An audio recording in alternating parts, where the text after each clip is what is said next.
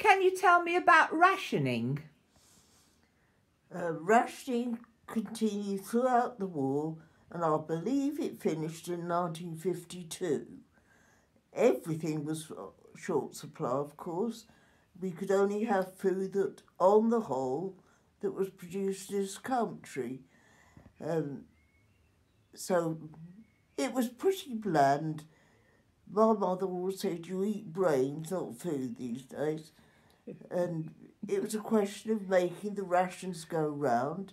And my mum used to say, supper was the worst meal. If you'd had bread and butter for tea, you couldn't have butter in the evening.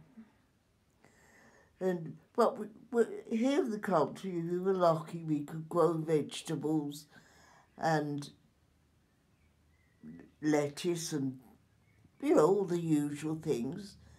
Uh, but um, if you lived in town, you sometimes could get a bit more food. How did But rationing... you had to register with a shop and you held your ration book when you took your order or went shopping. You went to the shop, you took it with you, and they marked off the coupons. And sweet coupons were blue, and they were issued in a huge pile and just had, I think, the sweets we used to have. I know when I was in the Wrens, we used to get I think, once a fortnight.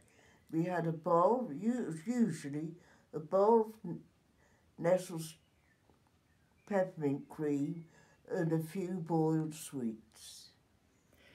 Which shop did you go to for your groceries in rationing time?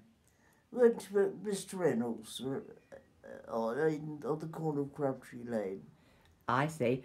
And what sort of things did you get there? Well, all basic things, um, butter, cheese, all the basics, but there was nothing fancy. It was, How- it how- was simply balanced food. How much did you get then, sort of butter and things like that? I think I might not be quite right, but I seem to remember it was two ounces of butter, four ounces of margarine, and it was margarine.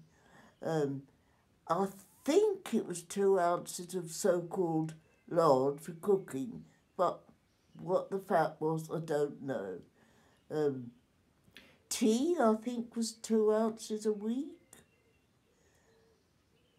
Uh, meat was rationed according to quality.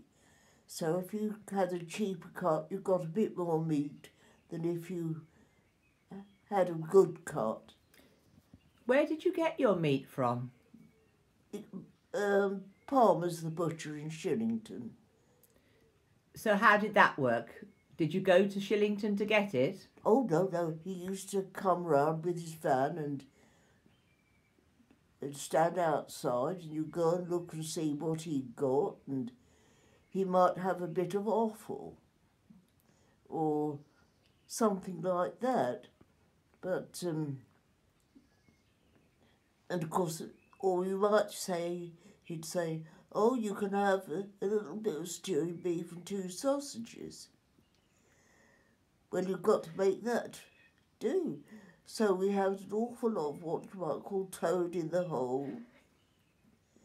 It was very difficult and it got very monotonous, but we didn't take any notice. Mind you, when I was in the services, Wrens, we were well fed. Um, we always had brown sugar, and Sunday was always roast pork and cold pork in the evening. No, we we were very well fed because you know there's a lot of you got lot to deal with. But at home, when I we used to come home on leave or anything, mother had always got eggs, so we'd have an egg in some form or another. A cocket egg was popular. What's that?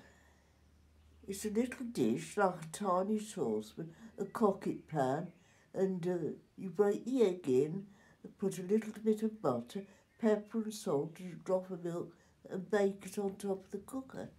And they'd often have them. Oh. What about rationing with clothes? Was were clothes rationed? Yes, clothes were rationed. You had your coupons, I can't remember how many. And when you wanted something, if they got it in the shop, you go and try it on and purchase it.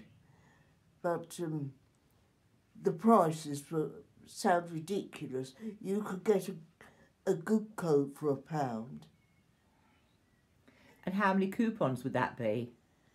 I don't know, but um, towards the end of the war, when things were just coming back, I was still in. If you put in a request for a chit for pyjamas, some shops would swap that for a coat. Oh. Yeah. Did you make your own clothes? Hmm? Did you make your own clothes? Quite a lot, yes. And renovate them, and I've seen my mother unpick a school tunic and turn it. What do you mean turn it? Put the outside in and it wear again. And men's collars? Yes.